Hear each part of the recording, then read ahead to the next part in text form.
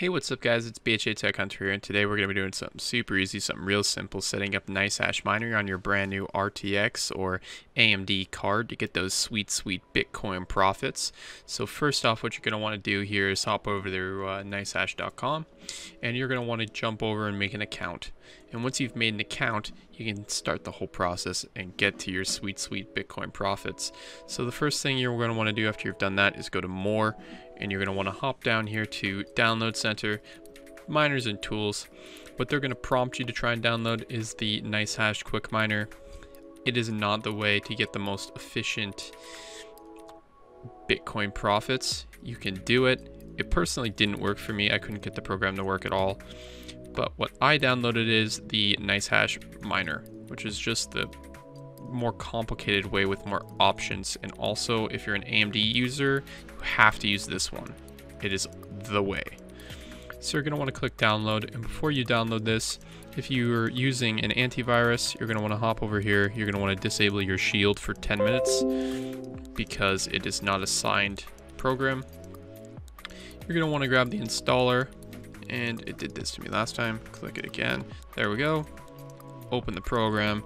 Run that baby. I agree. Run nice hash. You're just to want to accept. Nobody reads terms of services. This is just about the usage of third-party miners. Next. Now there are a couple ways you can log in. If you have the mobile application and you're signed in, you can scan yourself to sign in. You can log in, which sometimes does not work, or you can enter your Bitcoin address manually just by going like that. Now you can locate your Bitcoin address by going to your NiceHash dashboard, then mining, then going to mining address, and there will be your mining address. It's that simple. You're want to just copy and paste that. You're want to click save. Then it's going to set up. And while it's setting up binaries and stuff, you can take a nice drink from your BHA Tech Store water bottle. BHATechStore.com. And now that you're done that, you can hop over to the settings page and you're going to want to make sure that the service location is the closest one to you. For me, it's San Jose. It's the closest to me. You can switch your currency to whatever you want.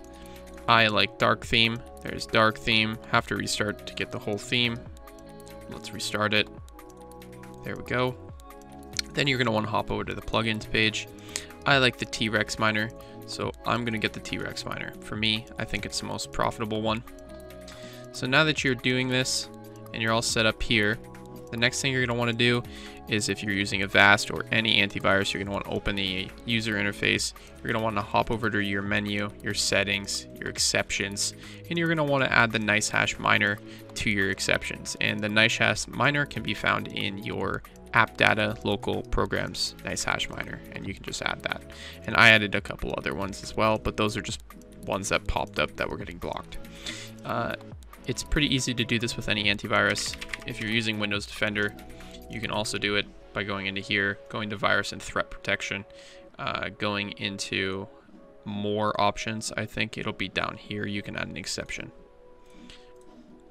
So once you're doing all that, you can turn your shield back on so you're back to being protected. Then you can hop over to your benchmark page. And the first thing you're going to want to have to do is benchmark. Now there are a couple of algorithms that you can use for mining. Uh, I personally like the T-Rex one. That's what I've been using recently. So I'm going to use that one. If you are using an AMD card, you may have to use a different one. Uh, you can just benchmark a bunch of random ones and find out whatever one is the best for you. That gets you the most speed and the most profitability. So I'm going to use the T-Rex miner and I'm going to click start benchmark. But before I do that, I'm going to want to head over to another video of mine where we check out MSI Afterburner. And I'm going to want to open that program that I've already gotten because I watched that video. And I'm going to want to do this. If I have a 3070, this is the settings I want. I want 1200 core memory clock because memory clock is what matters for Bitcoin speed or Ethereum speed. And then I'm going to want to knock my core clock all the way down and I'm going to want to lower my power limit So now I'm getting more economical. Now I'm drawing less power, so it's costing me less money from the wall. And I'm also dropping my core clock because that's irrelevant for mining. And it's also saving me power. And I'm just going to want to click yes on that. Now, if you want to start gaming, you can just make another profile where it's all default. And you can jump over to that when you want to pl play games. But this, this gives you like a couple of bucks of speed increase. So now I can start my benchmark. Now for me it's going to be a bit lower, but you should expect around 70 or 60 uh, hash rate for uh, an RTX 3070 card. So we'll just jump back once this is done. And there we go. Now we're done benchmarking it. We get 39 or 37, sorry, which is not great, but it's much higher when I'm not recording. It's 60, which is like $5 USD per day. And there we go. It's going to start mining. And now you're set up for mining. You're, you can watch your profitability go up once this starts mining. We can watch it happen. And you can also, while we wait for that, you can hop over to your dashboard here. And you can see I have a couple of other rigs. This one this is how much you'll get if you have a 1650 Super and a Ryzen 6 core. It'll be about a dollar fifty a day.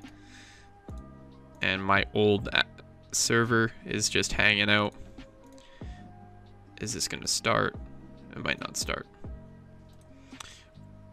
But at the rate of six bucks per day, you can expect it to take it's around $300 Canadian a month so this is how long it takes to pay off your 3070.